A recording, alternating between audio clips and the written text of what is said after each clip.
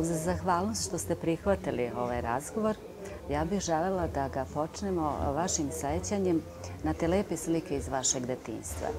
I ako bih morala da vam predložim, volela bih da to budu slike, ali slike gde se i zvuk vidi i gde se oseti to.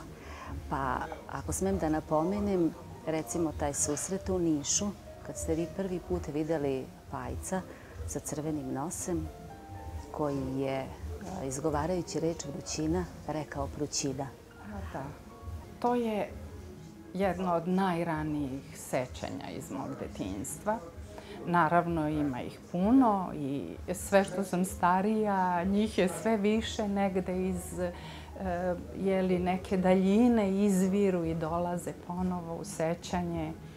I mnoge me raduju, jedna od tih koja me raduje je taj moj, da kažem, neki prvi susret sa e, nečim što bi se moglo nazvati pozorištem, predstavljanjem. E, moji roditelji su e, često putovali i mi smo se selili po Srbiji, poslom su išli. I ja sam, e, naravno, brat, e, moj brat Vladimir i ja smo išli sa njima uvek e, i svuda. I tako smo se jednom obreli u Nišu. I tu nekako za nas nije bilo toliko e, zabave koliko je bilo u Beogradu gde smo živeli, imali kuću i veliko dvorište i mogli da se igramo i bilo puno dece iz porodice koja su dolazila na igranje kod nas.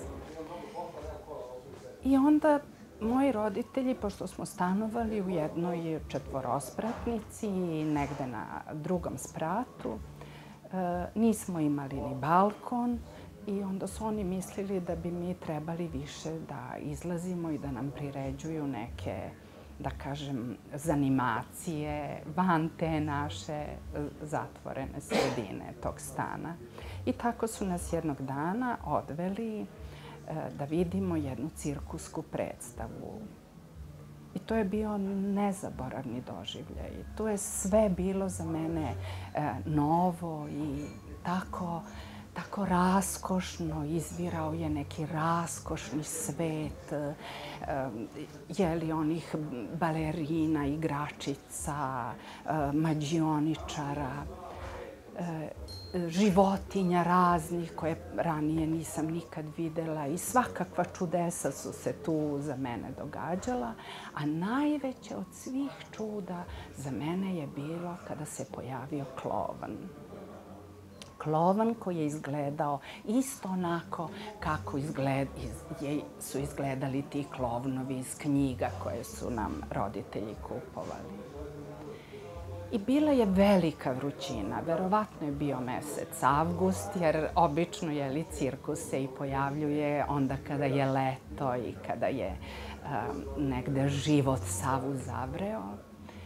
I uh, ta šatra je bila neke onako oranž boje i sve je bilo nekako uh, vruće. I svi ljudi, a bilo je prepuno sveta, svi su onako bili um, ozareni tom, tom svetlom bojom, tom, uh, tim mirisom, uh, mirisom cirkusa koji je pun životinja, uh, jeli toplote, pun uh, one šećerne vune, znači mirisa, šećera, nečeg slatkog. I uh, odjednom u toj velikoj uh, toploti, u toj, tom žaru, uh, žaru i toplote i događanja, istrčao je klovan. I rekao, uf, pala je prućina. prućina i gledao nas je sve i svi ljudi koji su tu bili zastali su i kada su shvatili da on govori prućina umjesto vrućina, svi su se toliko smejali kao da se dogodilo ne znam šta, jer to je bilo e, neobično. On je rekao drugačije nego što se kaže za vrućinu i on je kroz tu, tu svoju e, namernu grešku oslikao i naše iščekivanje i sva događanja i sve te mirise koji su tu bili e, oko nas i, i to, e, to hlađenje i to mahanje papirnim lepezama jer svi smo pravili od novina lepeze i hladili se.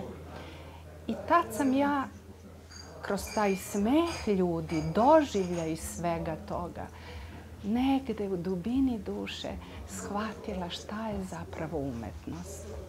Šta je e, predstavljanje života, a da nije sam život, šta je ono što sublimiše sve što, što nam e, e, osjećanje postojanja donosi. Naravno, jednostavnije sam sve to doživela, ali vrlo snažno i eto zapamtila taj događaj do dana današnjeg. Vaši roditelji su bili pravnici, ali oboje su bili naklonjeni umetnosti i pisane reče i slikarstvo. Ja, ja, ja imam smisla za ponešto, ali e, moji roditelji su zaista bili obdareni. Tata je divno pisao, A mama je bila sjajni slikar. Ona je bila pravnik po profesiji, ali je e, kad god bi joj se ukazala prilika slikala i želela je da bude slikar, ali e, sticem raznih okolnosti u porodici, eto, postala je pravnik i žalila je uvek što nije, što nije slikar. A ja sam tako, ja, ja imam smisla za crtanje, više bi to tako nazvala i imam smisla za pisanje. Napisala sam dve knjige, pišem sada treću. E, volim da pišem. U gimnaziji sam, da se hvalim, osvajala silne nagrade. Dobila sam čak za maturski pismeni nagradu Saveza književnika Jugoslavije. Koji je potpisao lično I jeste Josip Vidmar, koji je bio predsjednik Akademije nauka i Bog zna koliko sam bila ponosna zbog te nagrade. A tema je bila e, tog maturskog pismenog zadatka, umetnost otvara i prelazi sve granice. I ja sam o tome pisala i sad kad pogledam, ja imam taj rad, čuvam ga, ja i sad mislim kako sam ja to tako znala sve, a još nisam bila, eh, još se nisam bavila glumom. Bavila sam se, ali više ovako, ne profesionalno u toj meri. Pre nego što počnemo da govorimo o vašim roditeljima i vašem radu, volela bih da nekoliko reči kažemo i o vašim precima, o burnoj i bogatoj istoriji vaših e, čuvenih predaka. Čukići e, su iz plemena Vasojevića, oni su crnogorci. I e, moj deda, Ivan Čukić, e, je bio načelnik Sreza Beranskog, a Berane su tada bile e, najveći, najveći grad u Crnoj Gori i najveći srez u Crnoj Gori je bio taj Beranski srez. A baka moja Darinka, to su očevi roditelji, ona je bila prva školovana učiteljica u Crnoj Gori. I ja se vrlo ponosim e, uh, sa obojenjem. Eh, ja bih eh, vas podsjetila na jednu scenu kad je sam ruski car zbog dede reagovao jer je on bio veliki Jeste. patriota i dva puta je zatvoren. Da, da, da. Deda je bio veliki patriota i borio se za oslobođenje eh, Srbije od turske vlasti, a posle i Bio je i učesnik čuvene Mojkovačke bitke i dobio je velika priznanja. on je bio nosilac e, ordena belih orlova sa mačevima. I zaista je bio izuzetan čovek. I desilo se eto da, je, da su dedu e, austro-ugarske vlasti osudile na smrt. Dva put je bio osuđivan na smrt i bio je u istoj, sa Gavrilom Principom, u istoj, ovaj, u istoj sobi u zatvoru. Ne u isto vreme, ali u, u istoj toj prostoriji. I rekli su da se naprave vešala i pravili su vešala i on je to sve gledao kroz prozor svoje ćelije. Trebalo je ujutru da ga obese, međutim, e, prijatelji njegovi, njegov pobratim, Mitar Martinović, koji je bio e, ministar inostranih poslova Crne Gore, je e, intervenisao kod ruskog cara i ruski car je dedu pomilovao i stiglo je to, intervenisao je i onda je dedi stiglo pomilovanje. Uh, ovaj, I tako je deda spasen. A kako kažete, sa mamine strane bili su manje imućni, strane... ali su imali vezu na dvoru. da, pa e, bili su e, mamini roditelji, otac je bio inženjer geodezije, a majka je bila domaćica, a njena sestra je bila udata za E, dvorskog apotekara Savu Mrcajlovića. E, I e, tako imali su kontakte sa ljudima na dvoru. I sve ste to pročitali u mojoj knjizi. Perle od vode. Kad govorimo o vašim roditeljima, kažete sećanje na majku su mladi prženi krompirići, a oca volite da pomenite i kažete on je voleo sokole, ptice, kad visoko na nebu lete. Da. E, pa, ja sam rano izgubila majku, a pa ni otac moj nije dugo živeo. I tako, moja sećanja su uglavnom, e, kada se govori o njima, vezana što se mame tiče baš za detinjstvo, a tate opet za neku mladost. Eh, I verujem da svi, jeli, da nema, da nema ko od nas ne voli maminu kuhinju i uvek ne misli da je ona najbolja, a prženi krompirići su već, jeli, istorijska stvar.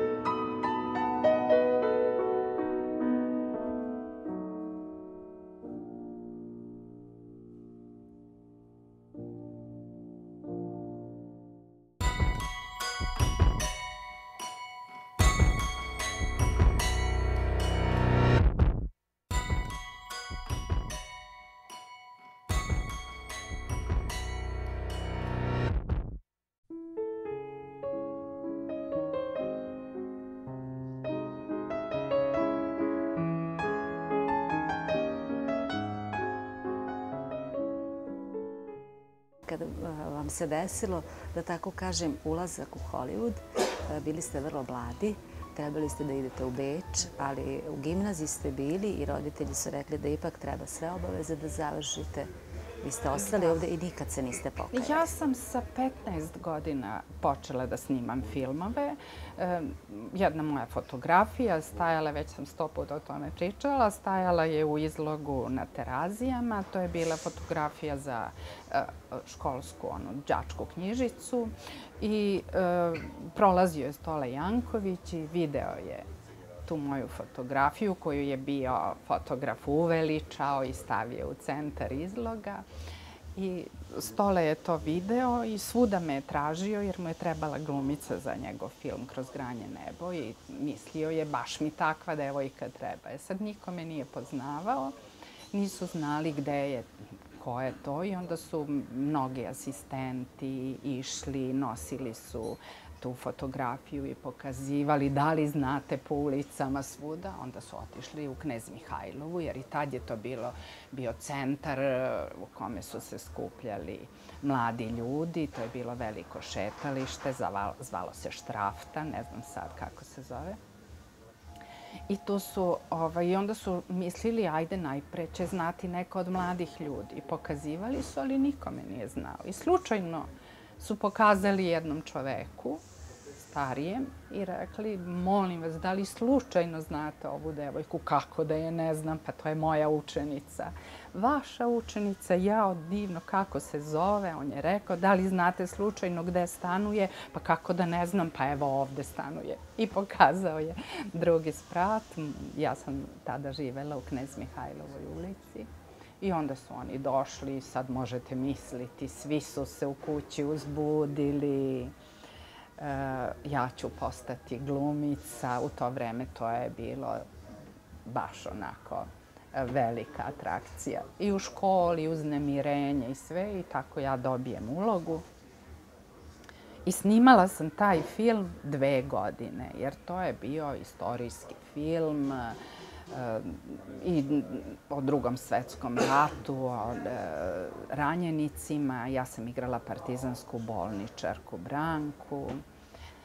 I to je bilo eh, vrlo naporno snimanje. Učestvovala je vojska, avijacija, tenkovi, stotine statista. I pošto se to proteglo dve godine, kada su na kraju pogledali snimljeni materijal, imali su šta da vide. Na početku snimanja jedan devojčurak, na kraju snimanja devojka jedna odrasla, malte ne žena. I onda su morali sa mnom da presnime većinu scena. Ono što su mogli da izbaci, izbacili su. Ono što nisu mogli, morali su da presnime. I posle taj film dosta dobro prošao. Osvojili smo u Puli Srebrnu arenu i imali veliki uspeh. I doživjeli ste vrlo rano taj san o kome su sanjale mnoge devojke. A doživjeli ste ovremeno da jednog rože vadima odbijete. A, pa nisam ga ja odbila baš, nego ovaj, evo kako se to desilo. Snimala sam film Nož. E, posle tog prvog filma ja sam odmah e, upala u druga snimanja i snimala sam čak i za strane reditelje i to sam igrala u dosta dobrim filmovima.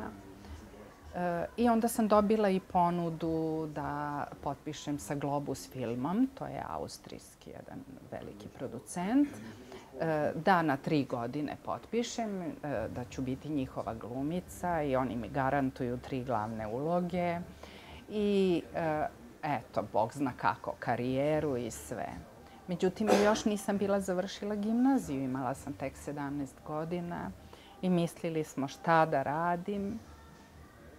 Većala je cela porodica, bilo je, bila je to velika šansa, ali opet trebalo je da se odreknem škole, onda da se odvojim od porodice. Ko zna da li bi mogli da dobiju oni pasoše, trebalo je se s njima u inostranstvu. U to vreme to je bilo dosta komplikovano. I onda, eto, ja sam snimila ta dva filma, a od Globus film sam se zahvalila i ostala sam ipak da završim gimnaziju, pa ćemo videti, ima vremena I onda sam ovaj, završila gimnaziju, upisala se na akademiju, uporedu i na svetsku književnost. ja sam imala silne ambicije u raznim oblastima. I, ovaj, I studirala sam svetsku književnost godinu dve. I onda je prevagnula akademija, nisam mogla da postignem sve, da jurim sa predavanja na predavanje. I onda sam nastavila da snimam kod nas filmovi. Snimila sam film Nož. I e, on se montirao u Rimu. I u jednoj od ovaj, tih montaža gde se vrteo film Nož i moje, moje scene, e, E, tu pored je nešto montirao i Rože Vadim. I on je svratio i pogledao i učinilo mu se da bi mu ja jako odgovarala. za jedan njegov novi film. I onda me potra, e, ovaj, pitao ko sam, čija je to devojka. Ovaj, I oni su rekli. I ja sam tad već igrala nešto u ateljevu 212. Onda su oni, najbolje je bilo da se kontaktira Mira Trajlović. I onda su zvali Miru Trajlović i uh, ona se bila vrlo uzbudila zbog mene i ja sam, Bog zna kako se osjetila, počastovano. Međutim, već sam bila u velikim probama, u novim ulogama. Sve se meni ovde otvaralo. Počela sam da pravim neku pozorišnu veću karijeru. I onda sam opet mislila šta ako odem pa igram kod njega, možda jedan film, možda uspem, možda ne uspem. E, možda to neće biti ono pravo što ja želim da igram, a ja sam htela da igram velike heroine, veliku književnost, e, da igram, e, ne znam, Šekspira, antičku književnost Molijera, da igram i Boru Stankovića i meni se to ostvarilo ovde. A, ovaj, nešto nisam bila preterano slavoljubiva i nisam ovaj, i, za, i tu sam se zahvalila verujući da će mi se opet otvoriti neka šansa. Sad šanse su mi se ovde puno otvarale. Ovo je bio veliki prostor, ne samo Beograd, nego i Srbija, nego je bila cela bivša Jugoslavija. I ja sam zaista igrala svuda i u Hrvatskoj i u e, Makedoniji i e, na moju veliku sreću dobila sam i prekrasne uloge u Bosni na Sarajevskoj televiziji dve predivne serije. E, e Aca Jevđević je to režirao i to su bile poropčije i kože. Ja sam to mnogo volela i uživala u tim ulogama i nisam ni jednog trenutka pomislila na, na svetsku karijeru. Ali ste istovremeno ovde sve uloge mogli da birate i birali ste uloge. Pa sad ne bih rekla mogla sam da biram, ali sam, na primjer, e, sve što meni je puno nuđeno da igram i ja sam od onog što mi je nuđeno birala. I sad kad pogledam sve šta sam izabrala, pa gotovo sve bi to i danas uradila. Sa ovom pameću, sa ovim e, otklonom prema svemu, mislim da bi to isto uradila.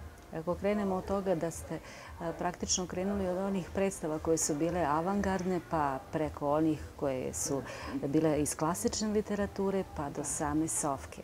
Pa ste doživjeli da u publici budu i kćerke Bore Stanković. Jeste. To je bila premijera Nečiste krvi, ja sam igrala Sofku. I to je bilo ovaj, već od generalnih proba, znalo se da će to biti velika predstava. Režirao je Graca Mirković u Narodnom pozorištu. I e, nekako sve se tu skupilo od podele do svih saradnika koji su učestvovali na predstavi. E, videlo se da će biti velika predstava, da se razumemo, da gorimo, da, da, da smo svesni eh, onoga što nam pruža materijal, da možemo da napravimo nešto zaista izuzetno i nešto što se očekuje, što, što ljudi žele da vide. I tako je izašla ta predstava i na premijeri su bile obe čerke Bore Stankovića i one su došle e, obučene u e, staru, starogradsku srpsku nošnju. I divno su izgledale, baš onako su donele i one svojom pojavom miris jednog vremena i uh, one otmenosti o kojoj Bora Stanković piše. Kad govorimo o Sofki, pomenula bih samo jedan detalj kad je bio zemljotres u Rumuniji i kad ste se vi vratili na scenu. Da. I kad vas je posle toga podsjetio jedan stari gospodin nakon izvestnog vremena zašto ste se vratili na scenu, vi ste mu odgovorila zašto ste vi došli u publiku. Da, da, istina je. To je bilo Da, to je bilo već 5-6 godina smo već igrali. Ja mislim da je 75. bila premijera Nečiste krvi, krajem, znači negde 76. I mi smo 10 godina igrali tu predstavu. zaista dokle, dok god smo mogli i dok je ona bila još živa i uh, onakva kakvu, uh, kakvom smo se mi ponosili. I uh, negde na polovini tog igranja, a igrali smo je 300 puta. Igrana je vrlo često i po, ne znam, e, 14 puta mesečno i po dva puta e, dnevno dešavalo se. E, gostovali smo puno po Jugoslaviji, a gostovali smo i po inostranstvu. I tada je, tada, negde, kažem, na polovini e, igranja, negde pete, šeste, pete godine, dogodio se taj veliki zemljotres u Rumuniji. I to je, e, ja sam baš bila na sceni, e, imala sam monolog, Sofkin monolog, znači sama sam bila na sceni, gorele su neke sveće tu i ja sam e, klečala na podu. Odjednom je pod počeo da izmiče ispod mojih nogu. I sve one um, reflektori, ona gvožđa koja drže dekor, ono sve oko je počelo strašno da zvoni da udara jedno od drugo i da zvoni. I nismo, prosto nisam znala šta se, šta se to događa. Onda sam shvatila da je zemljotres. Počeli su da vrište u publici, ljudi, i počeli su da skaču i da ovaj, i, i, skaču preko stolica da pokušavaju da izađu. Smirilo se. Sve, ja sam i dalje stajala na sceni, ustala sam bila i stajala sam. Onda sam se povukla malo sa strane. Onda su ovi ljudi koji su počeli da iskaču, da skaču preko stolica, počeli su da se okreću okreću ponovo prema sceni, pošto su osetili valjda da ja i dalje tu stojim i da se na sceni ništa ne menja. I onda su odjednom počeli ljudi da se vraćaju. I vratili su se gotovo svi i seli. I ja kao da se ništa nije dogodilo, sam nastavila da govorim svoj monolog i to i bio je ogroman aplauz. Kad se sve to završilo i onda je još zemlja podrhtavala par puta, onda smo stali, ja sam stala i onda sam rekla ja mislim da bi bolje bilo da svi idemo svojim kućama i ljudi su izašli, polako pošli, aplauz je bio još jednom, ja sam se povukla i tako i rekli smo da mogu da dođu, da će biti predstava sljedeća za njih. Govoreći o toj posvećenosti poslu, e, znali ste i da prekidate, odnosno nekoliko puta, čak i kad ste bili prvakinja pozorišta, prestajali ste da budete u pozorištu. A mislite da sam odlazila iz pozorišta? Da, ja sam odlazila iz pozorišta narodnog. Nažalost, e, dešavalo se i da mi nije bilo dobro u tom pozorištu. Da je bilo mnogo, eh, po mom mišljenju, mnogo nepravdi.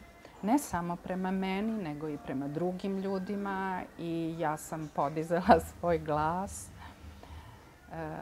verujući da nešto mogu da popravim time. I e, eto, četiri puta se desilo da nisam mogla ništa da popravim i da sam e, morala da odem. I davala sam otkaz i odlazila. Posle, kad bi se promenila uprava, oni bi, nova uprava bi me odmah ponovo zvala da se vratim. I ja sam se vraćala jer glumcu je mesto u pozorištu, pozorišnom glumcu, kako ja sebe prvenstveno smatram, je mesto u pozorištu i pozorište pripada umetnicima, glumcima, piscima, rediteljima, scenografima, kostimografima, muzičarima, onima koji, koji od pozorišta, uh, jeli od zgrade, od cigala, čine jedno sveto mesto.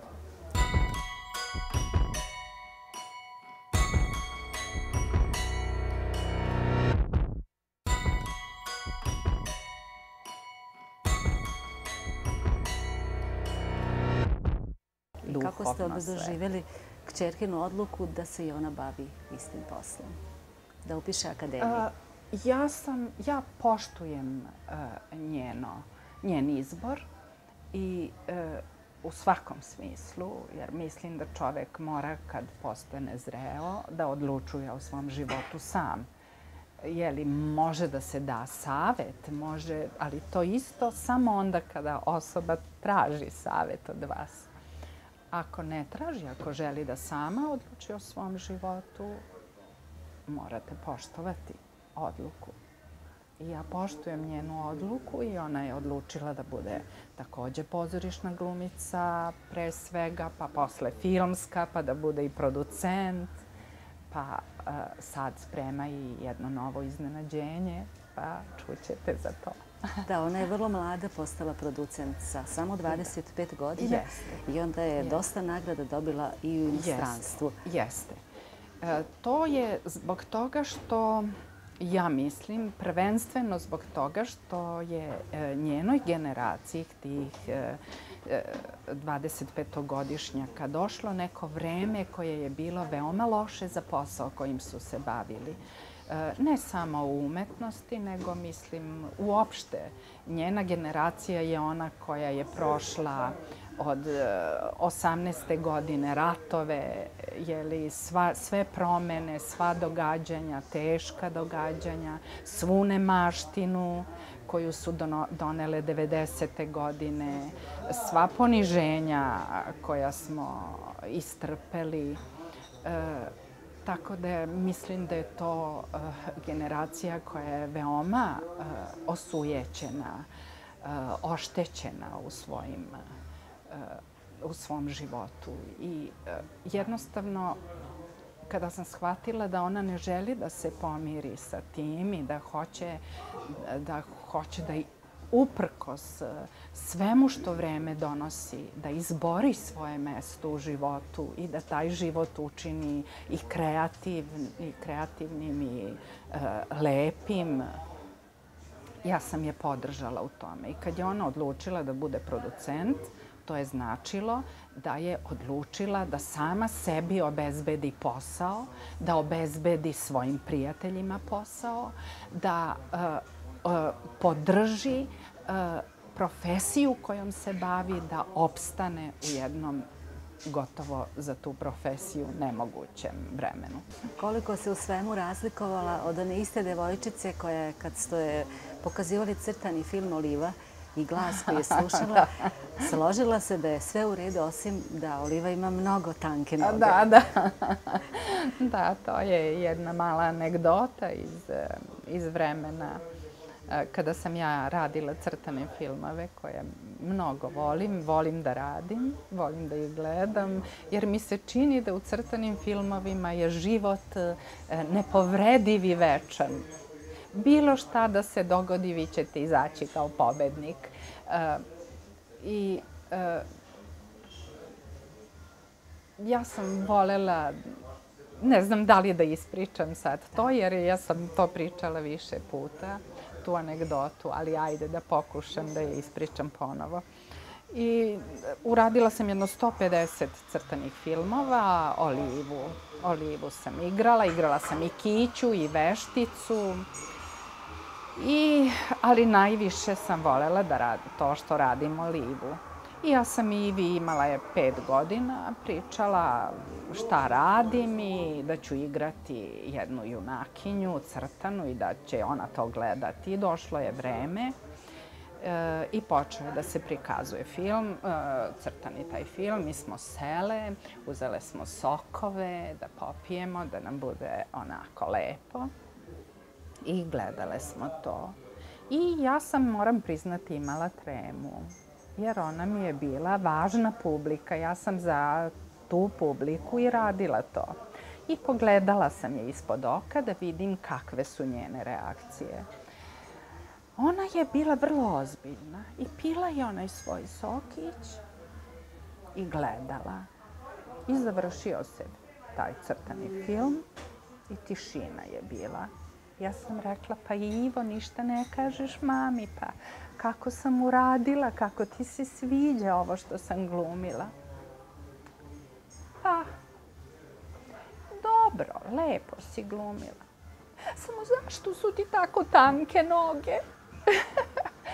Ona je doživela sve to kao ja glumim olivu i to sam ja. Nisam joj se baš mnogo svidela kako izgledam. Kad govorimo o vašoj porodici, nezaobilazno ime i vašeg supruga. Kažete da ste praktično cijeli život s njim, a ja bih vas posjetila na taj susret eh, na brodu za Hvar gde on razgovarajući sa svojim drugom, isto novinarom u to vreme, rekao da ćete vi biti njegova devojka. On mu je rekao da se šali. Kaže, ja sam te iste godine bio u braku sa mojom verom. Jeste, mi smo se upoznali na brodu. Za hvar išla sam da snimam golog čovjeka. E, Brace Gluščevića, to je hrvatski film i išla sam na hvar sa mojom tetkom. Tetka je pošla sa mnom da mi se nađe, jeli, da mi pomogne ako mi šta treba. Ajde, a i ja sam volela da ona ide sa mnom, da i njoj bude lepo. Hvar je divan, divno mesto. I ovaj, na brodu smo se upoznali sa ovaj, Gordanom, upoznao nas je naš drug Miša Stanisavljević. Oni su pošli da naprave reportažu o snimanju i uh, ovaj, naročito da naprave razgovor sa mnom. I tako je. Ovaj. Oni su ostali isto desetak dana koliko i ja na Hvaru. E, viđali smo se uveče, tek malo na večeri. Ja sam ceo dan snimala. Oni bi nekad došli na snimanje, a nekad ne. Ali znam da je Gordon sve vreme provodio sa mojom tetkom. Te, gospođa Cico, evo ovaj divni kamenčić za vas. Te, gospođa Cico, ove ljubičice sam kupio za vas. I ja dođem uveče, moja tetka jao Bože, onaj Gordon, kakvo je to divno dete, kakav je to divan mladi čovek, takvog bi ti trebala da nađeš. Pogledaj, molim te, vidi kakvu mi je kolekciju kamenčića izvadio iz mora. Pa vidi ove, i svaki dan tako, i ja stalno slušam, Gordon je divan, Gordon je čaroban, ti baš treba takvog da nađeš. I ja na kraju poverujem mojoj teti i tako nađem Gordana. Kad govorimo o tome, ja bih vas podsjetila samo i na reči vaše svekrve koja je sa svojom prijateljicom, lekarkom, koja je također uvek lepo pričala o vama, sve do one scene kad vas je videla da glumite sa Ružicom Sokić. A, to kad smo igrale u žutu, igrale smo, e, e, ne, ja sam igrala neku lopovicu i ovaj, nešto sam krala po samoposlu nogama stvari i ubacivala u onu nogu od, e, kako se zove, gipsanu nogu, kao. I tu sam ubacivala kao karmine, šminku, sve što mi je trebalo i krala sam po samoposlu. E sada mi smo hteli to da snimimo, da to izgleda autentično i opet da ne bi plaćali baš mnogo statista, da iskoristimo atmosferu samoposluge i one ljude koji su isto došli da kupuju. I rekli su mi, ajde ti idi i ti to sve tako radi, mi ćemo da se sakrijemo i kao skrivenom kamerom to da snime. I sada sve su to snimili tako i to je izgledalo dosta uverljivo. Ali neka uh, uh, lekarka koja je bila sa mojom svekrvom ovaj, dobra prijateljica, moja svekrva je išla kod nje na neke kontrole i tako, jedna vrlo ljubazna žena. I eh, jednom kada je otišla, doktorka joj je rekla, znate šta, gospođa Ksenija, ja sam mnogo cenila vašu veru. Tako mi je ona nekako dama, pa ona mi je nekako kraljica. Ja sam ono igrala u pozorištu kraljice i to sve. Znate, to tako, ja sam toliko je to poštovala. Ali, brate, da onako krade po samoposlugama, pa to je strašno, ja to ne mogu da verujem pa moja svekrva, jao, pa doktorka, pa znate, oni su to snimali, pa sve. Pa ne, videla sam ja posle, gledala sam na televiziji, videla sam da je to snimanje, ali bez obzira, nije mi to nekako dostojno, nije mi, ne sviđa mi se to. I ljudi su vas praktično prepoznavali po ulogama koje ste igrali. Kako su vam obično na ulici prilazili? Ja moram da kažem, istina je da glumce obično po ulogama prepoznaju i poistovećuju ih i zovu ih tim imenom. I meni se dešavalo da me zovnu imenom uloge koju igram, ali e, više su me prepoznavali baš kao veru i više su mi se obraćali kao veri. I vera i uvek e, dosta prisno i dosta onako intimno. Pa Vera, kako si? Kako si, dušo moja? Šta radiš sad? Jel snimaš nešto? Uvijek bi tako, kao da se poznajemo mnogo godina i, i mnogo blisko, a istina je, pošto mnogo godina radim i pojavljujem se u njihovim domovima preko televizije, pa i preko filma, pa mnogi idu u pozorište, pa gledaju i uživo. I istina je da je doživljaj glumca kao nekog bliskog e, bića, ako još taj glumac uspe da dodirne e, dušu gledalaca, da, da pogodi njihova osjećanja, e, njihov doživljaj života, svega što je okolo, onda, onda je zaista blisko, bliska osoba a i taj glumac treba da se osjeća blizak sa tim ljudima, jer zapravo o njihovoj duši govori. Pa čak i kad kažete da je sadašnjica i okruženje oko vas da liče na bajku o carevom novom modelu. Pa ne znam, moguće da smo svi skloni malo, eh, neću da kažem konformizmu, ali ljudi e, ne vole e, ne vole drastične okolnosti, ne vole e, nemirne okolnosti. Svi žele neki, neki spokoj i nekako od ljudi koji su na vlasti uvek očekujemo da nam obezbede makar malo bolji život, malo više spokoja i mira. I je li možda zbog toga ljudi su skloni da dugo i mnogo trpe i ne vide da je car go.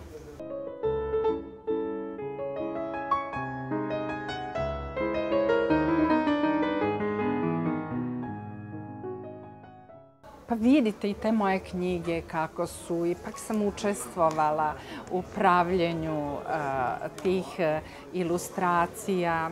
Evo vidite koliko je to boja puno. E, ja mislim da je život e, pun boja. E, ja lično mnogo volim plavu boju.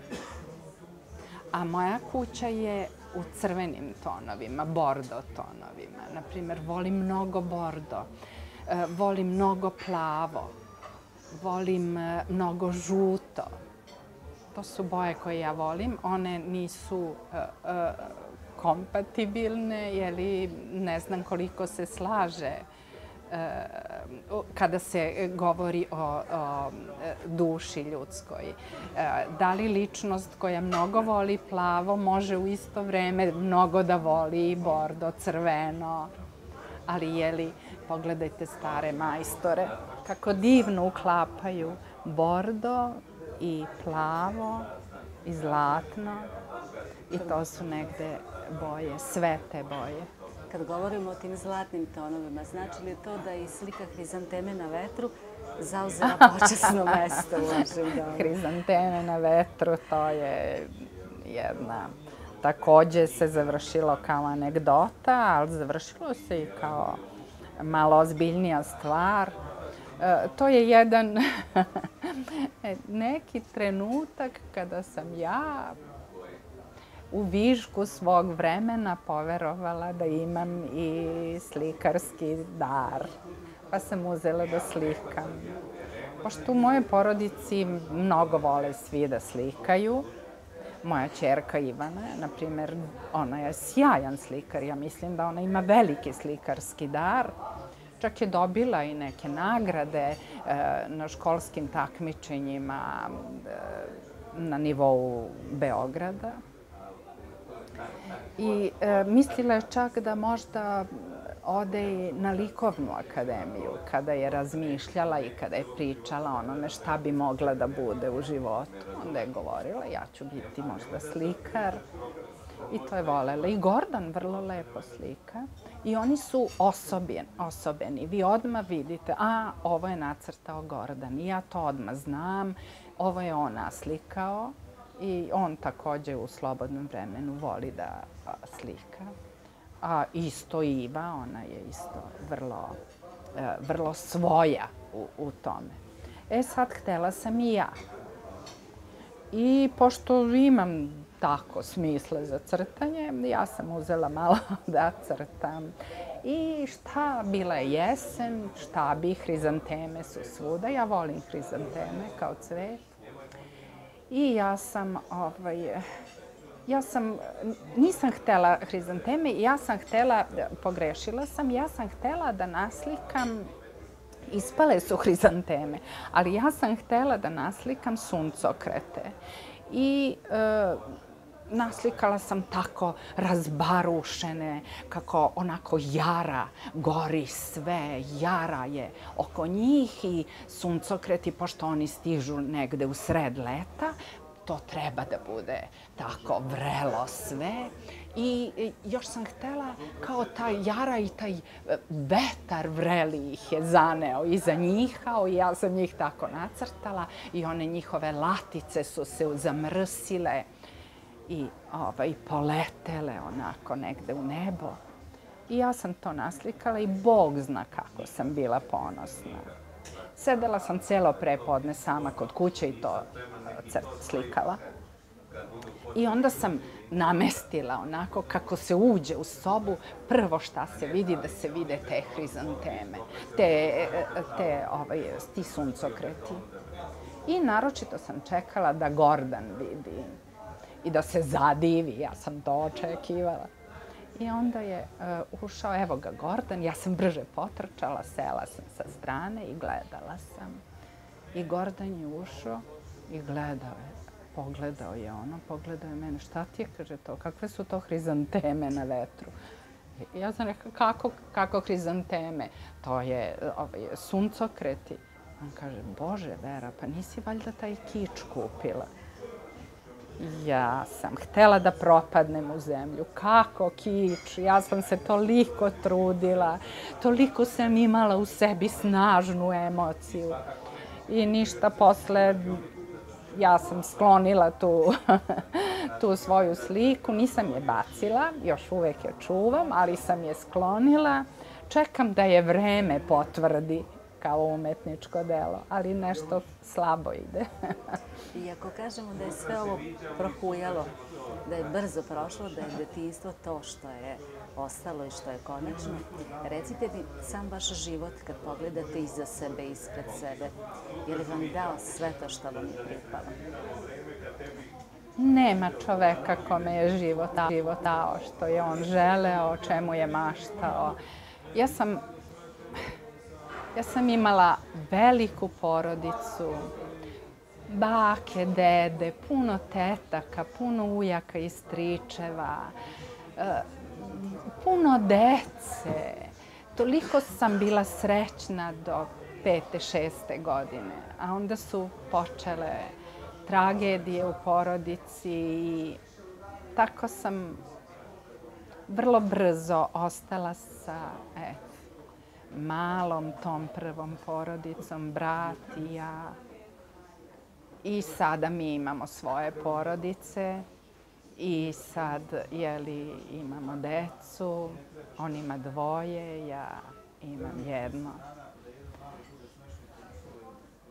Kako da vam kažem, niko nije, ja sam srećna sa mojima i sa Gordanom i sa Ivom i sa mojim bratom i njegovu decu mnogo volim i njegovu porodicu, ženu, naravno. I kako da vam kažem, tu sam srećna. Što se posla tiče, eto, postigla sam e, dosta. E, zaista dobila sam dosta nagrada, priznanja, ako to nešto jeli, znači, a znači, jer to ipak e, vam kaže, eto, ljudi vas poštuju, cene, vole vas. E, dobila sam dosta i nagrada publike, da ne govorim samo o aplauzima, ja sam ih zaista mnogo dobijala. I pa tu mogu da kažem da sam zadovoljna. Nije to sve ono što sam ja bila planirala i zamišljala da ću uraditi i postići, ali to je to koliko je meni suđeno, kolike su moje moći bile. Kako jer život nije što je poljem preći. Pa da, apsolutno. Stalno se borite, stalno, uh, znate, niste u životu sami, stalno gledate i druge, ne možete sami. Ne možete sreću da merite isključivo po svojoj, po svojoj uspešnosti, svojoj sreći, nego i po sredini koju gledate i po svem zemljinom šaru. Šta se sve događa i kako sve teče i kako ljudi žive. Sve to čini da li je neko vreme srećno, vreme u kome vi provodite svoj vek. I samo vas sve ukupna sreća i vaša dopunjene mogu da učine uspešno. Thank you.